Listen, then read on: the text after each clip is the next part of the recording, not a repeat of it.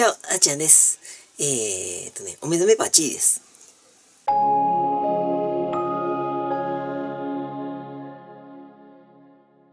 はい、えーっとね、9%のお酒、朝に残ってませんでした。はい、すっきりいい感じ。うん、って言ってももう、今10時やねんけどね、あのー9時前に起きて、鬼太郎見て、で、今ワンピース終わったところ、で、今日はね、仮面ライダーもルパンレンジャーもなんか違う番組でやってなかった。だから、えーっとね、まあ、二番組見て、うん、目も覚めて、頭痛もせず、えー、二日酔いもなく、スッキリでした。はい、えー、まあ、いいお目覚め。ただちょっとね、喉がカスカス。それはお酒関係なくね、これです。えー、っと、パン出して、はい。と、食べていきましょう。はい、ということで、えー、パン。えー、今回ね、これに使うのは、アボカドディップ。アボカドディップ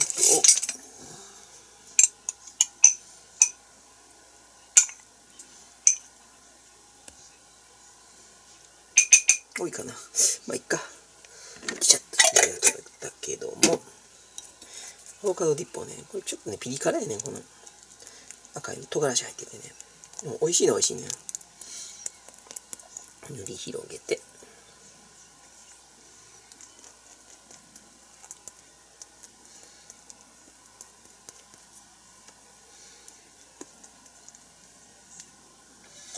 アボカドディップとパン、えー、あとお肉でハムベーコンとか、えー、とチーズ合うね。これに今日はベーコン。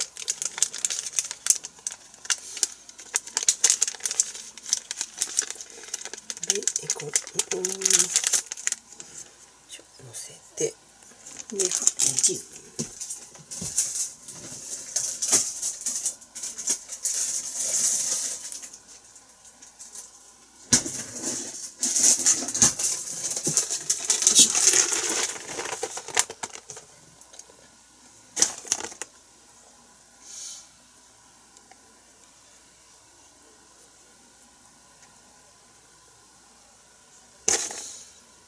はい、これで焼いていきましょう。はい、えー、焼けました。つけ忘れた。はい、えー、焼けました。えー、食べましょう。いただきます。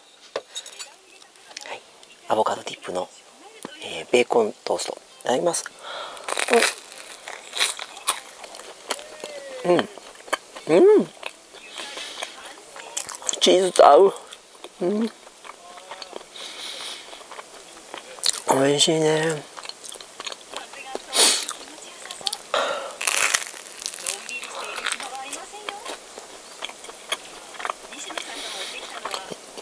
今回ね、パンが売ってなかったの。ね、セブン閉まってたし、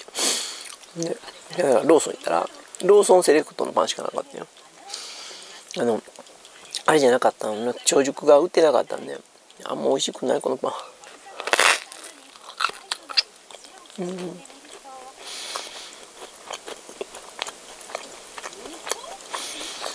っぱ長熟やね。ん。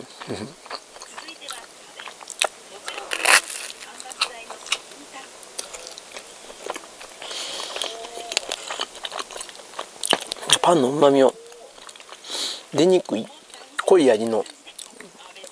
トッピングしていったらなんとかなるけどね。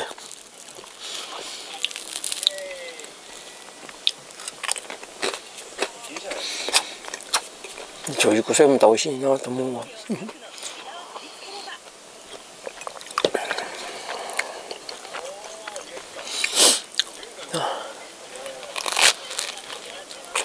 ディップとチーズがすごい合う。美味しい。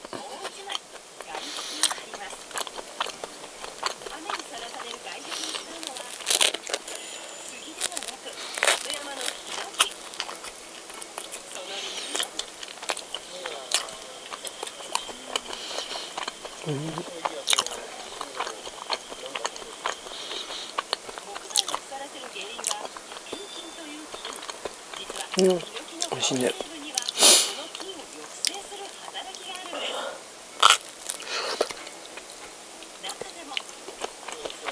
ベーコンが出てきた。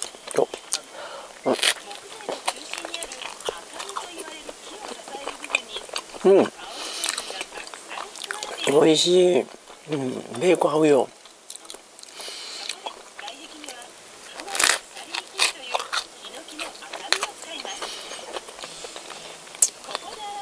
うん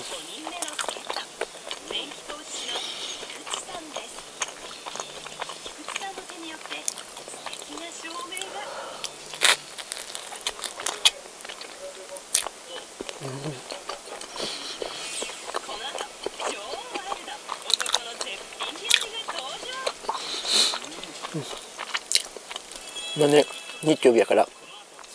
「木だろう」と「ワンピース見終わって。うん？その中にね所さんの目が手見てんの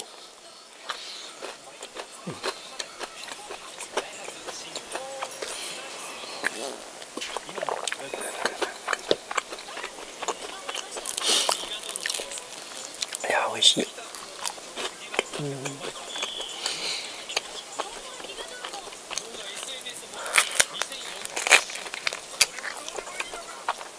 アボカドディップってさ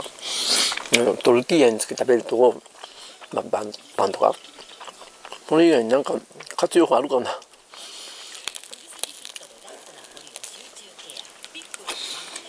まあ、パンにのしみたいまあ合うのは合うけどね、うん、まあでかいカナッペみたいな。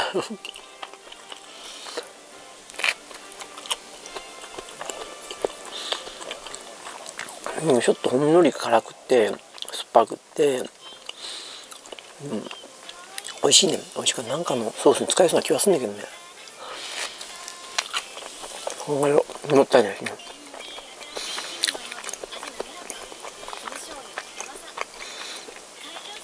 うん。昨日ねライブ終わってもうすぐ寝たんで、うん、いい感じにほろ酔いわーってなって、うん、気持ちよく寝られた84で見たら芯から寝られへんってよく言うねんけどうん俺楽やった気がさ起きんの。うん。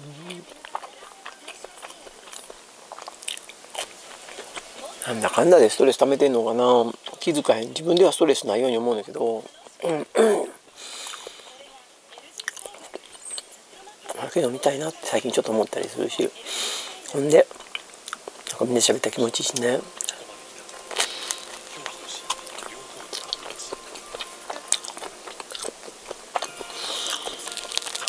日曜日はひね。お昼から飲んでもいいんだけど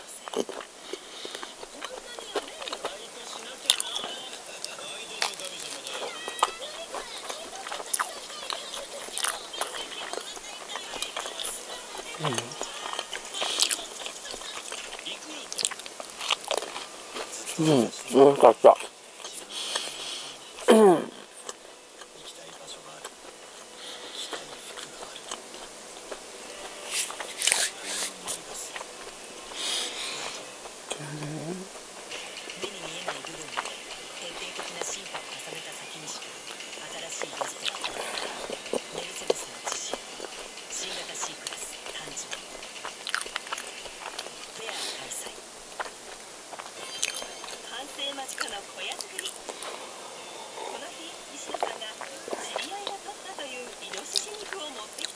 ひき肉やって美味しそうやなうんうん。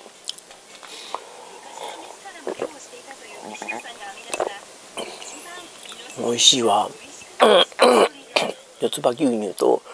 ボスラテで作ったラテはね、うん、ミルキー感が全然違う。コーヒーと混ぜたらねミルクのコクってすごく消えちゃうのよ、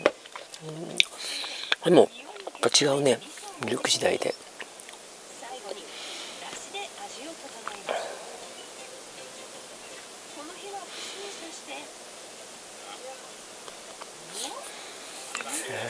美味しいやろな。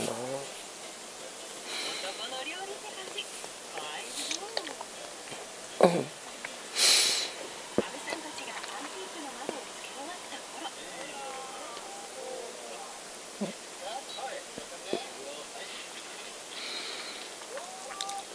うまそう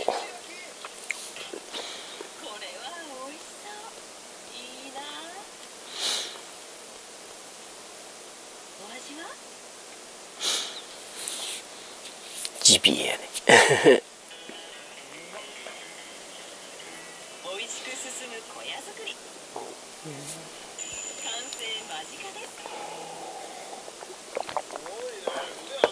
最近しじ肉もらえるようになったから 買いに行ってこうかな、ね、あの山奥の道の駅とか行ったら売ってんねん、うん、これも言った応答とかね。えっ、ー、と動画、えー、昨日あげたかな。応答道の駅編で、うん。あそことかに売ってた。でえっ、ー、と、とね飯高の道の駅にもってる。でえっ、とソニー三井にも売ってたかな。ちょっと山奥入った売ってんねんね。奥伊勢のねどっかの鹿肉バーガーがあるとか。あこの鹿肉バーガー美味しかったよ、うん、あれはね紀伊長島行った時かな、うん、マンボウ食べに行った時ね。あの時に食った。美味しかったしね,、ねまあ、いろんなとこ行ってきて美味しいもん見つけて食べるって最高やんね、うん、からまた行っていろんな美味しいもん見つけて食べてっていうのがあっチャンネルの特徴特徴っていうかねあっチャンネルっていろんな動画出しててねご飯食べたり車運転したり雑談したり社会に切り込んだりでで、ね、あと商品紹介したりおもちゃとかゲームやったりとかでいろんなことやってる中である程度そのあっチャンネルの中の特徴っていうところもあのグルメ番組旅番組っていうのをやっていきたいね。将来的にね。そこのとこでいろんなところ行って美味しいもの食べる。で美味しいもの食べる紹介だグルメ的なものといろんな場所行って場所の紹介旅番組みたいなのをくっつけたみたいなのやりたいなって。これ将来的にねそこがメインなのかな。わかんない。いや料理番組がメインなのかなっていうところやねんけど。まあつながるっちゃつながるしね。でそういうのもやっていきたいなと思って。まあ旅番組だけでね毎日1本出すの難しいからそこまで旅もできへんし、うんまあね、子供がね一人前になってもうあのあっちゃんの手が必要じゃなくなるようになったらノートパソコンとカメラ片手にもうねあっちこっち行ってあっちこっち泊まってでもう現地からアップロードしてっていうのでね旅番組的なもんできたらなーって将来的に思ったりもしてんねんけどね。もうね多分1日10本上げていくのも今ぐらいまでね。これから無理無理もできへん体も無理できへんなってたりとかでもうちょっとゆっくりしゃなかでも逆に言うたらそういうのを作り込むしようと思ったら撮影より編集時間が長くなる。なんかもっともっと目とかに負担はかかっていくのかなと思ったりしたらちょっと不安もあんねんけどもね。でもだってやっていく時には一緒にやってくれるスタッフも増えるかなと思ったり、ね、やっぱりね、あのー、正直正直言うとね一人でやるのはもう限界も近づいてきてるね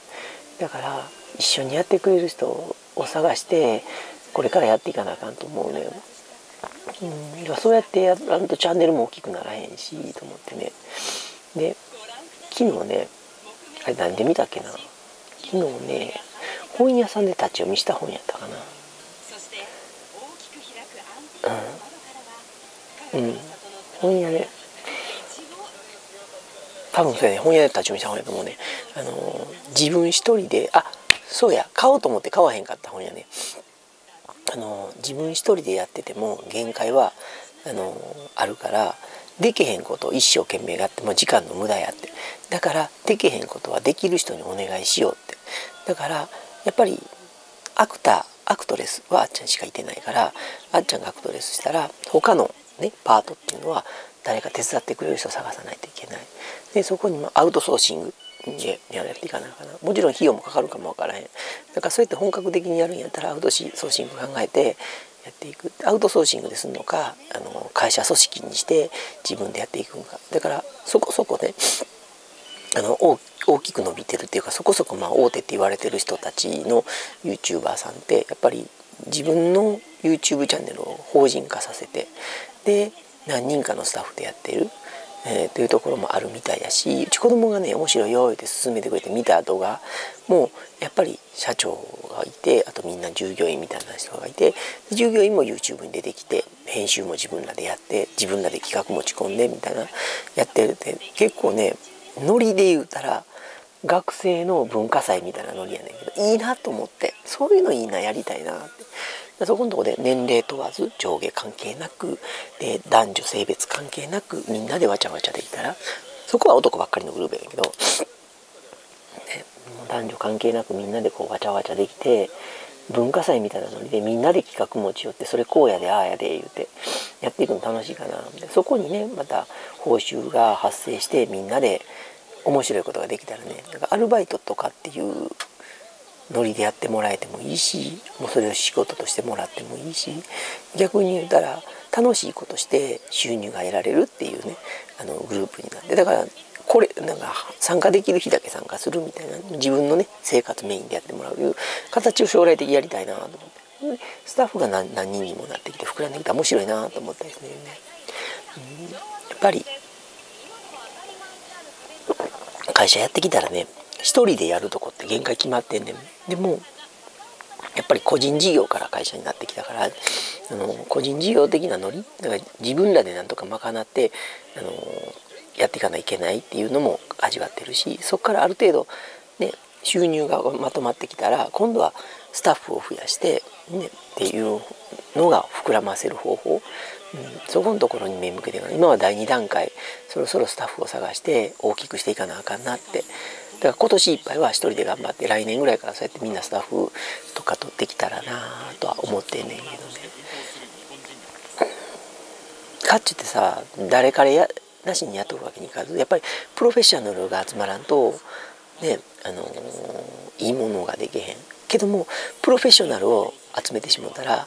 YouTube の良さ素人感覚っていうのがなくなったら嫌やからある程度素人的なねノリを持った人たちが自分のできるパート編集がめっちゃプロやねんけどもそういうのノリが好きとか、うん、っていう人たちが集まる難しいけどね、うん、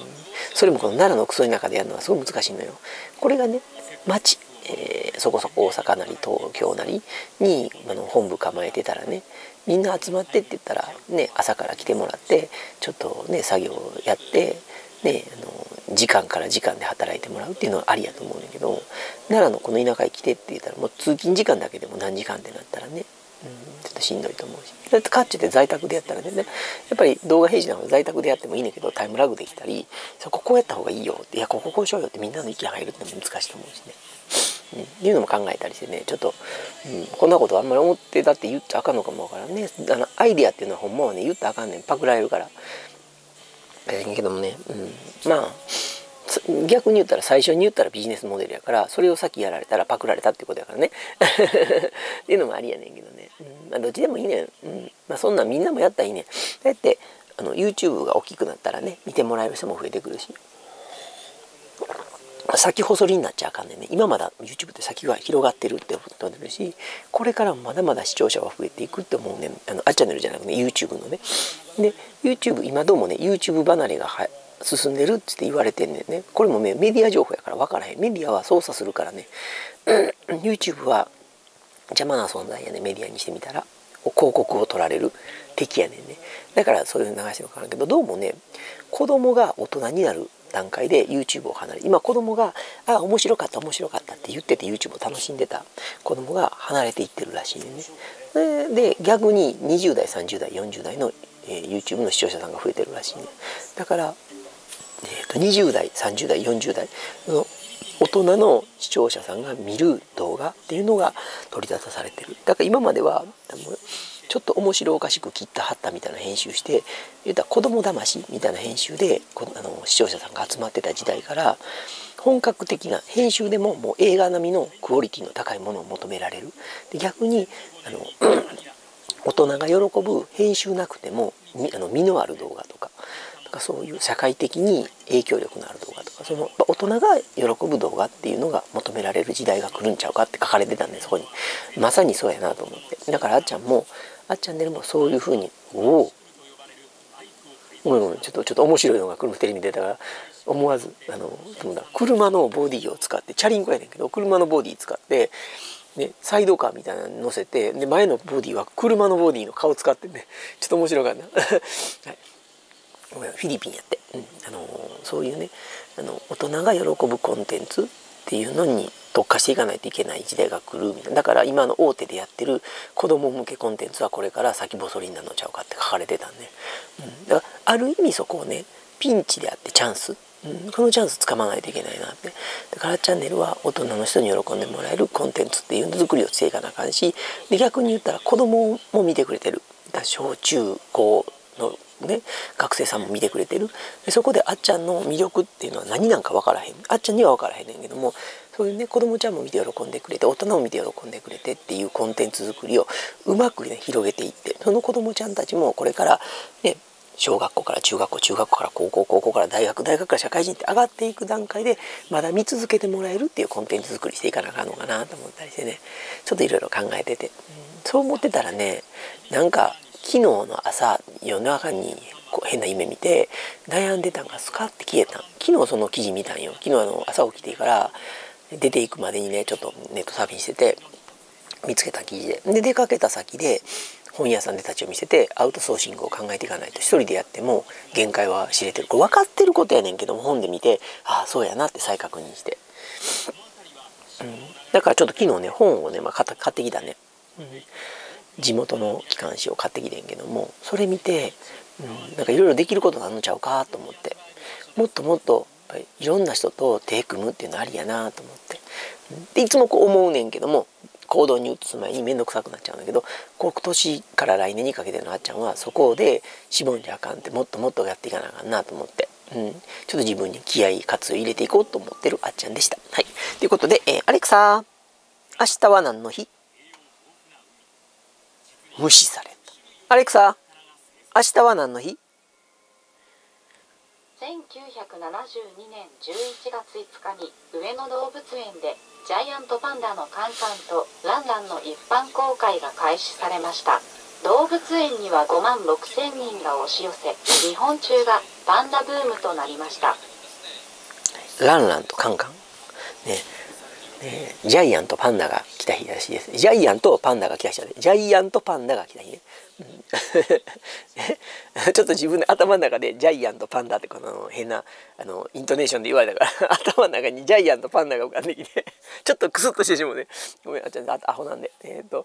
まあねあのジャイアントパンダが来た日で、えー、あっちゃんね子供の頃にそうパンダブームが来て上野行きたいなって言っても奈良のね田舎で住んでる自営業の子供はね東京なんて旅行連れてもらえません。だからパンダ欲しいパンダ欲しいパンダみたいパンダみたいパンダみたいと思ってパンダかわいいかわいいかわいい思ったらパンダの女ねあのちっちゃいぬいぐるみ買ってくれたお母ちゃんがねそのパンダのぬいぐるみよしよしよしでうちに似てたわかわいいこんな大きなこんなこんなぐらいのねパンダのぬいぐるみちゃんがおった多分だからあっちゃんは男の子としておもちゃ買ってもらってミニカーとか電車とかばっかりやるかその中でパンダのぬいぐるみがお店に置いてあってあっちゃんあんまりこれ欲しいあれ欲しいっていう子供ちごたんねででもあのリカちゃんになんていうの？あのあっちゃんちっちゃい頃ねお母ちゃんは桜井までバス乗って連れて行ってくれんねん。でバスであのジャスコとか日とか、まあ、昔岡田屋って言ってもう岡田屋がジャスコになってからね、もう時代わかるね、うん、でお母ちゃん岡田屋って呼ぶねその頃から。岡田屋行こう岡田屋ジャジャスコのこと岡田屋って言うね梅田にお母ちゃんね。そのまあジャスコ行ってその時にねお母ちゃんは1階食料品2階は洋服3階がおもちゃとか雑貨とかで4階か屋上がゲームセンターやね。でお母ちゃん服買めちゃくちゃ長いね。んでいつも迷子になったあかんからあっちゃんいつもそばにおりやるからお母ちゃん3階のおもちゃ見に行きたいってあかん後で連れてあるから一人で行ってくるってだから3階でおるからって言って「ほんまやな」言うて「行ってくるで」って言って行って。で3階見てお母ちゃんおらへん時にいつもあちゃんはリカちゃん人形とかねおままごとのとこずっと見ててでお母ちゃんそろそろ来るかなっていう頃にはあのミニカーのコーナーとか行ったりね。でちょっとちょっと時間を調整しながらねチラチラ見ながらお母ちゃん来るかなバレへんかなと思いながらリカちゃん人形とかお人形さんとかおままごとのとこ見てたんで。その時にパンダのぬいぐるみがおったん。それを触って遊んでたらお母ちゃん見てたんやと思うね。登ってきてでもうそろそろ来るかなと思って移動こう移動したりあっち行ったりこっち行ったりしてチラチラしとったよね。ででいつもねゲーセンのとこへ連れて行ってもらうね最後に。でゲーセンでちょっと遊んで。でゲーセンもねあの50円かか30円かなんかで車運転するやつとか車乗ってビューってあの電動のやつとかね。ちょっとした子供用のおもちゃとかいっぱいあってゲームとかあって。でそこにスロットカーで握ったらレール走るやつもあってそれあっちゃんすごい好きやって。いまだに好きでスロットカーにはハマってんだけどもね、うん、そんなんもあってね。いろいろあのゲーセン行って遊んでて。その時にお人形さんとか触っとったもバレとったんとはもうね。お母ちゃんもそんなね知らんわけじゃないしあっちゃんもそんないつもお母ちゃん来るからで階段とかばっか見てるわけちゃうから。その時にパンダさんのぬいぐるみ触ってほしい時触ったり抱っこしたりとかして遊んでたんでそれが見つかったんか分からへんねんけど今日なんか買うっていつも言ったらねミニカー1台とかだから行くたびになんかミニカーとか買ってもらっててだからミニカーはすっごい数持ってたんちっちゃい頃ね。だからいつもだかお買い物行ったらミニカー。でちょっとねあのー、なんていうの懐のいい時はプラレールとか買ってもらったり、ね、ミニカーのこの大きな遊べとか買ってもらって結構おもちゃはいっぱいあったんで。その時とかで「今日は何買うの?」って言って「今日ミニカー欲しいのないしな」って言ってって言ったら「今日これ買ったろか?」って言ってパンダ持ってきたんよ。でパンダもな東京行って見に連れたられへんもんな言ってパンダ買ってくれてでパンダのぬいぐるみをいつも抱っこして帰ってきた、うん、懐かしいなパンダなんだけどね、うん、パンダで遊んだりしててね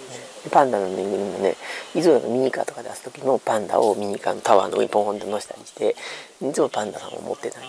懐かしいなパンダのこんなちっちゃいの、うん、でもリカちゃんにはさすがに買うてくれへんだけどね。それはねいとこ姉ちゃんとか遊びに行ったり女の子の友達のとこ行って遊びに行ったりしてね、うん、でも遊んだりしてた。だからお母ちゃんはその頃から気づいてたんやろね。だからあのカミングアウトした時に「ごめんな」っつって言ってくれて「間違えて産んでしもたな」って「ごめんな」言うて、うん、まあでも今こうやってね女の子として生きていける。男として生まれてきて男として育てられて女として生きていける。人生二度おいしい。なちゃん今思えるようになったからね。最初もっとね若いうちにカミングアウトして女として生きたかったとかって思った時期もあったけどある意味この人生も良かったかなって面白かったかなって思えるようになってきて。だって両方味わってるからね。男として生きて女として生きて楽しいことができるっていうのもありかな。ここにみきちゃんがいてくれたら最高やねんけど、うん、それが叶わへんかったんが、まあ、人生。ね。次生まれ変わった時はもっともっとちゃんと長くいて楽しみたいなと思ってんだけどね、うん、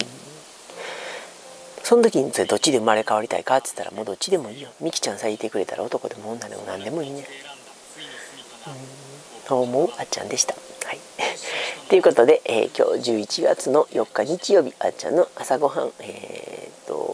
なんだ、え、アボカドディップとベーコンのチーズトースト。これめっちゃ美味しかった。これはありです、えー、これからまだねちょっとアボカドディップとかサルサソースとかちょっと変わったパーティーに使ってあとどうすんねんこれみたいな。イベリコ豚パテとか。そういうのを、えー、あとねあのリメイクするものとか何かこう活かせるものを考えていきたいと思います。せっかくねあの植物動物いろんなもののね命を頂いてんねから捨てるのはもったいない。最後の最後まで食べましょうっていうことをねもっと心がけて。でソース一つにしてもアボカドさんの命、え、唐辛子さんの命あと何やろいろんなものの命をね、詰め込まれたものやからね。動物だけじゃない。植物だって命は宿ってんねんからいろんなもんは命の芽を絶たれて、人間の口に入ってくるっていうのをね意識してもったいないことをしてあっちも結構ね食品ロス多いの。はっきり言って。野菜も使い切れへん間に死ねってなったりとかえー、お肉だってああああっていうのがねもうちょっと明日使おうと思ったら明日なんかイレギュラーなことがあって違うものになったりとか食べに行ったりとかで火が伸びてしまってクンクンしたらちょっとやばいかなっていうのがあったりですね賞味期限見ずにねクンクンであっちゃうあの話してんだけどクンクンしてあこれやばいなって一日昨日昨日クンクンした時いけたのに今日あかんのかいみたいなのがあんねんね。そういうのはね、あのー、やっぱもったいないしやってはいけないことやからね。そこを意識して、えー、ゃんとあの何て言うのかな食品ロスのないようにあのいろんなアレンジしたりね使えるようなことを心がけていって、えー、これからもお料理やっていきたいと思います。はい、っていうのが、えーと、あっチャンネルのこれからやっていきたいことです。はい、なんかちょっと違う気も。するけども、はい、えーと今日のあっちゃんの朝ごはん良かったよと思ってくれたら高評価を応援コメントチャンネル登録してこれから見てくれたら嬉しいです。ではまたね。バイバイ。今日も一日よろしくね。